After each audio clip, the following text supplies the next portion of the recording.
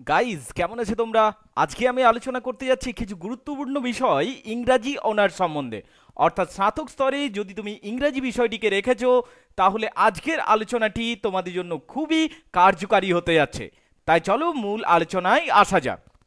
আজকাল আমি দেখছি স্নাতক স্তরে বেশ কিছু ছাত্রছাত্রী স্নাতক স্তরে পড়াশোনার পাশাপাশি চাকরির প্রস্তুতি নিচ্ছে। চাকরির প্রস্তুতি নেওয়া ভালো কথা, তাতে কোনো সন্দেহ নেই। অনেকে আবার চাকরির প্রস্তুতি না নিয়েই চাকরির পরীক্ষা দিতে চলে যাচ্ছে। কিন্তু এই বিষয়টি ভালো কি না অনেকের অবশ্যই যুক্তি থাকে যে আমি একটা অভিজ্ঞতা পাচ্ছি, অর্থাৎ এক্সপিরিয়েন্স হচ্ছে। কিন্তু এক্ষেত্রে আমি বলব this experience are nothing but suicidal experiences এক্ষেত্রে আমি বলব, এই অভিজ্ঞতাগুলি মোটেও ভালো অভিজ্ঞতা নয়। তার কারণ কি? তার কারণ এই অভিজ্ঞতাগুলি তোমাকে ক্রমাগত হতাশ করতে থাকবে। তোমাকে সব থেকে প্রথমে বুঝতে হবে, চাকরির পরীক্ষার বাস্তবটা কি? আজকে চাকরির পরীক্ষার বাস্তব হলো যে থ্রোট কাট কম্পিটিশন অর্থাৎ প্রচণ্ড প্রতিযোগিতা চলেছে। শুধু চাকরি কেন? যে কোনো ফিল্ডেই, অর্থাৎ যে কোনো জায়গাতেই এখন প্রতিযোগিতায় আসল কথা। তুমি যদি দক্ষ হও, তবেই শুধুমাত্র তুমি টিকতে পারবে। আর চাকরির ক্ষেত্রে সেটা আরও বেশি। এক লক্ষ প্রতিযোগীর মধ্যে মাত্র জন সুযোগ পাচ্ছে। এই এক লক্ষ প্রতিযোগীর মধ্যে দশ হাজার জন কমপক্ষে খুব ভালো প্রস্তুতি নিয়ে এসেছে। কিন্তু তুমি তো প্রস্তুতি না নিয়ে যাচ্ছ। তুমি তো ভাবছ এটা লটারি লটারি কাটবো আর চাকরি হয়ে গেল। কিন্তু আসলে সেটা নয়। অর্থাৎ তুমি এইভাবে প্রস্তুতি না নিয়ে যখন যাচ্ছ, সেক্ষেত্রে তুমি তোমার সময় নষ্ট করছ এবং অর্থ বিনাশ করছ। তাহলে এর সমাধান সূত্রটা কি? এর সমাধান সূত্রটি হলো যে তোমাকে আগে প্রস্তুতি নিতে হবে। প্রস্তুতি নেওয়ার পর তুমি এই পরীক্ষাগুলিতে উত্তীর্ণ হও। কিন্তু তুমি যদি ইংলিশ অনার্স করছ বা যদি তুমি ইংরাজিতে স্নাতক করছ সেক্ষেত্রে তুমি যদি চাকরির প্রস্তুতি নিতে শুরু করেছ পাশে পাশে, সেক্ষেত্রে আমি বলব, তোমার এই সিদ্ধান্তটি বিপজ্জনক হতে যাচ্ছে ভবিষ্যতে। কেন? কেন আমি এই রকম কথা বলছি? তার কারণ, তুমি যদি ইংলিশ অনার্স নিয়েছো বা ইংরাজিতে স্নাতক করছ, তাহলে তুমি অবশ্যই জানো যে ইংরাজি স্নাতক স্তরের চাপ কীরকম থাকে। অর্থাৎ কত বেশি আমাদের পড়াশোনা করতে হয়। এখন যদি তুমি পুরোপুরি সময় ইংরাজি অনার্সের জন্য দাও তবুও দেখবে তোমার পড়া অনেক বাকি হয়ে গেছে। যেটুকু আমরা সময় পাই ইংরাজি অনার্সের জন্য বা ইংরাজি স্নাতকের জন্য, সেইটুকু সময়ও আমরা যদি পুরোপুরি কাজে লাগাতে চাই, তবুও দেখব আমাদের সময়টা অনেকটাই কম। বিশ্ববিদ্যালয়গুলি বিভিন্ন কারণবশত পরীক্ষার ফল দেরিতে বার করে থাকেন। বিশ্ববিদ্যালয়ের আরও বিভিন্ন নানা সমস্যার জন্য ছাত্রছাত্রীরা খুব কম সময় পেয়ে থাকে। একটা সেমিস্টার সিস্টেমে ছয় মাস তুমি সময় পাবে, এটাই স্বাভাবিক। কিন্তু বাস্তব ক্ষেত্রে দেখা যায় ছয় মাসের পাঠ্যক্রমটিকে তোমাকে চার মাসে বা সাড়ে চার মাসের মধ্যে সম্পূর্ণ করতে হচ্ছে। এখন তুমি তার কম্পিউটার নও, তুমি একজন মানুষ। এবং যদিও মানুষকে সুপার কম্পিউটার বলা হয়, কিন্তু ইংরাজি স্নাতক স্তরের পড়া মুখস্থ করার সময় আমরা হাড়ে হাড়ে বুঝতে পারি যে কত বেশি ভাইরাস রয়েছে। এখন যে আমি মুখ্য বিষয়টি তুলে ধরতে চাইছি, তা হলো এই যে ধরলাম তুমি ইংরাজিতে স্নাতক করছ। কিন্তু তুমি জানো যে আজকে চাকরির অবস্থা কি। তাই তুমি অতি উৎসাহী হয়ে এবং সময় নষ্ট করবে না বলে এখন থেকেই চাকরির প্রস্তুতি নিতে শুরু করেছ বা দু একটা চাকরি পরীক্ষার জন্য যাচ্ছ। এই বিষয়টিকে আমি কিন্তু মোটেও সমর্থন করব না। এখন তোমাদের মনে স্বাভাবিকভাবে প্রশ্ন হতে পারে, কেন? দেখো, ইংরাজি স্নাতক স্তরের কোর্সটিকে এমনভাবে বানানো হয়েছে যে তোমার পুরো সময়টা এই বিষয়টা পড়তেই চলে যাবে। এখন তুমি এর পাশাপাশি যদি তুমি আরও একটি কোর্স করতে যাও, তোমার স্বাভাবিকভাবে তোমার ডিভিশন অফ লেবার এবং তোমার ডিভিশন অফ টাইম হয়ে যাবে। অর্থাৎ তোমার সময় এবং তোমার পরিশ্রম ভাগ হয়ে যাবে।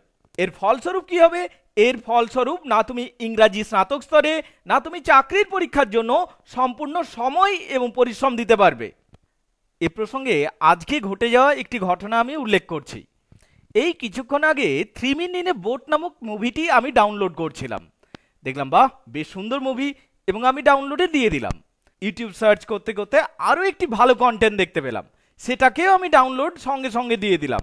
এর এক দু মিনিট পর ঘটনাচক্রে আমি আরও একটি ভালো কন্টেন্ট দেখতে পেলাম, এবং সেটাকেও ডাউনলোডে দিয়ে দিলাম। তিনটি জিনিসকে আমি একসাথে ডাউনলোড করতে গেলাম। ফলস্বরূপ কী হলো, আমার কম্পিউটার হ্যাঙ্ক হয়ে গেল।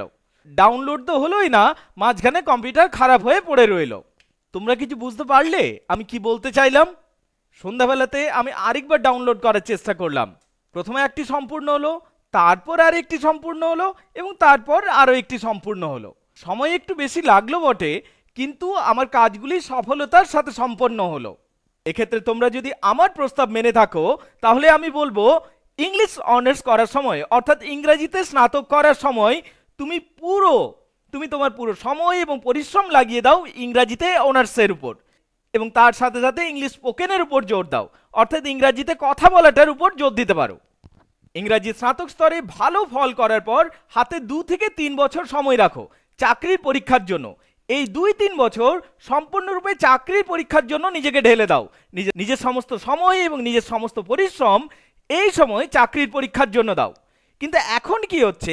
এখন যেহেতু তুমি চাকরির পরীক্ষার জন্য প্রস্তুত নও এবং যেহেতু তুমি প্রস্তুতি নাও নি তবু তুমি যখন চাকরির পরীক্ষা দিতে যাচ্ছ, তখন তোমার ওয়েস্টেজ অফ টাইম হচ্ছে এবং ওয়েস্টেজ অফ মানি হচ্ছে। অর্থাৎ তোমার অর্থের অপচয় হচ্ছে এবং সময়েরও অপচয় হচ্ছে। একটা ছোট্ট উদাহরণ দিয়ে বিষয়টিকে আমি বোঝানোর চেষ্টা করছি।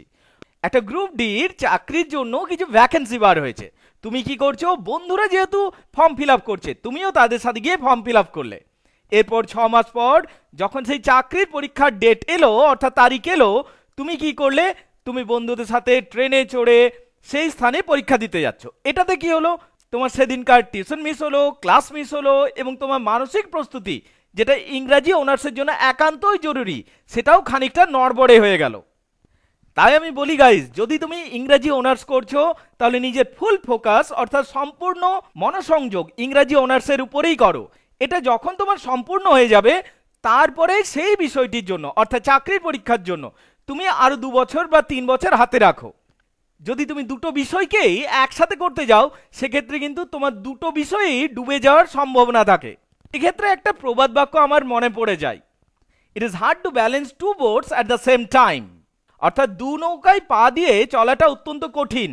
হ্যাঁ তবে এক্ষেত্রে আমি আরও একটি বিষয় বলতে চাইব।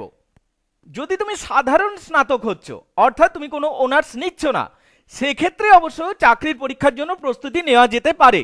তার কারণ সেক্ষেত্রে তুলনামূলকভাবে পড়াশোনার চাপ অনেক কম থাকে। তাই তুমি যদি চাকরির প্রস্তুতি নিতেই চাও, তাহলে তুমি একটা জেনারেল গ্র্যাজুয়েশন ডিগ্রি নাও এবং তার সাথে সাথে চাকরির পরীক্ষার জন্য প্রস্তুতি নাও। আর হ্যাঁ গাইজ আরও একটা বিষয় আমি অবশ্যই মনে করিয়ে দিতে চাইব।